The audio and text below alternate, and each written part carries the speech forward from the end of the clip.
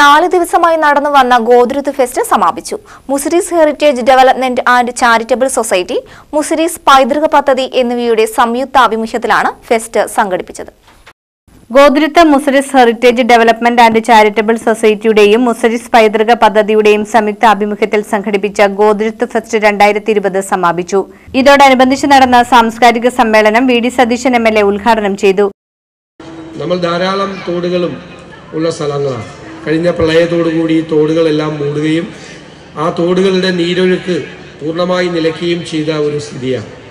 തീർച്ചയായിട്ടും rebuild Kerala initiative പദ്ധതിയിൽ ഈ കാര്യം കൂടി പ്രത്യേകമായി പെടുത്തുന്ന കാര്യത്തിൽ ഞങ്ങൾ ശ്രദ്ധിക്കുന്നുണ്ട്. അതിന്റെ എസ്റ്റിമേറ്റും മറ്റു കാര്യങ്ങളും തയ്യാറാക്കി. അതിന്റെ പ്രവർത്തനവുമായി മുന്നോട്ട് പോകുന്നതിൽ കൂടുതൽ ശ്രദ്ധിക്കാം എന്ന് മാത്രം ഞാൻ ഈ അവസരത്തിൽ പറയാൻ ആഗ്രഹിക്കുന്നു ഏറ്റവും മനോഹരമായ ഗോതുരത്തിന്റെ ചരിത്രവും അതിന്റെ പൈതൃകവും പൈതൃകവുമെല്ലാം വിളിച്ചോതുന്ന നമ്മുടെ ചവിട്ട് നാടകത്തെക്കുറിച്ചും നമ്മുടെ ജലോത്സവത്തെക്കുറിച്ചും ഈ നാടിന്റെ പഴയ കഥകളെല്ലാം നമുക്ക് പുറത്തു വരുന്ന രീതിയിൽ ധാരാളം ടൂറിസ്റ്റുകളെ നമ്മുടെ പ്രദേശത്തേക്ക് ആകർഷിക്കാൻ കഴിയുന്ന രീതി ഇവിടെ ഒരു നല്ല മ്യൂസിയം ഉണ്ടാകും.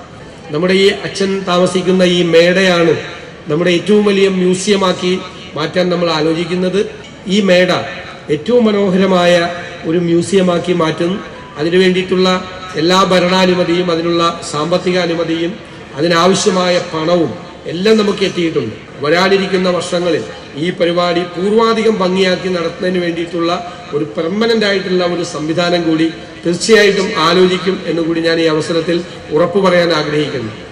Chennamangalam panchayat president T G Anoop അധ്യക്ഷനായിരുന്നു society president Albin Thaniyath father Thomas Kolarikkal Kerala Sangeetha Nataka academy vice chairman Xavier Pulppad Muziris പൈതൃക പദ്ധതി M D P M Nishad K Chittilappilly foundation manager Bentley Thadikkaran society secretary Josy Konath vice president Reena Simon general convener K T Johnson എന്നിവർ പ്രസംഗിച്ചു.